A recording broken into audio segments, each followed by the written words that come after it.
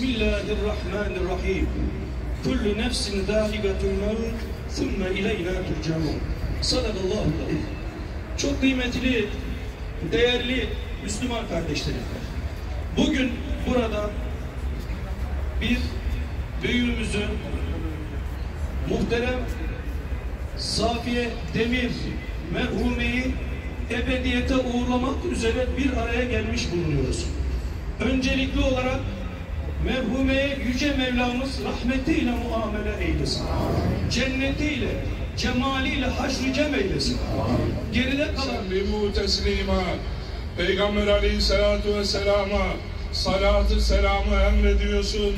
Bu İslam kadını Peygamber aleyhisselamın her adını duyduğunda Allahümme salli ve sellim ala Muhammed buyurdu.